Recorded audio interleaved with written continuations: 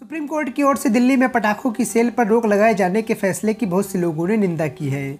आर्थिक नुकसान के चलते कारोबारी इस फैसले से काफ़ी ज़्यादा नाराज़ हुए हैं। वहीं तमाम दक्षिणपंथी लोगों का कहना है कि यह फैसला हिंदू विरोधी है। और कई लोगों ने यहाँ तक कहा है कि यह ऐसा ही है जैसे मुगल दिवाली पर पटाखे बैन कर देते थे। लेकिन आइए जानते हैं कि आखिर इसका इतिहास क्या है। तो चलिए दोस्तों बिना टाइम वेस्ट के वीडियो को स्टार्ट करते हैं।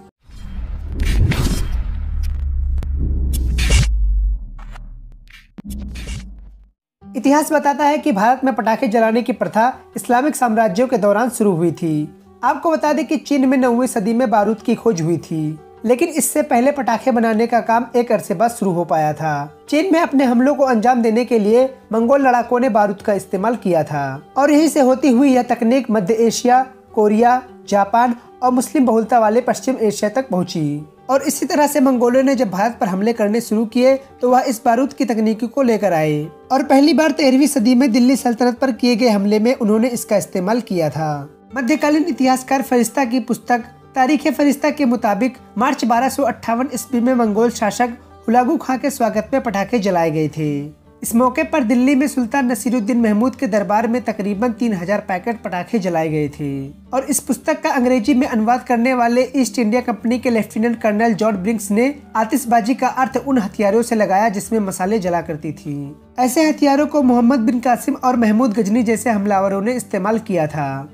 हालाँकि भारत में बारूद के इस्तेमाल पर गहरा अध्ययन करने वाले इकतेदार आलम खान ने कहा है कि यह बारूद का असली इस्तेमाल ही था। एक सदी के बाद सुल्तान फिरोज शाह तुगलक के शासनकाल में दिल्ली में पटाखे जलाए गए थे। तारीख फिरोज शाही में इस बात का खास तौर पर ज़िक्र है कि कैसे सबे बारात के दौरान पटाखे छोड़े गए थे और पंद्रहवीं सदी की शुरुआत में चीनी व्यापारियों के ज़रिए बारूद दक्षिण भारत में पहुँचा था।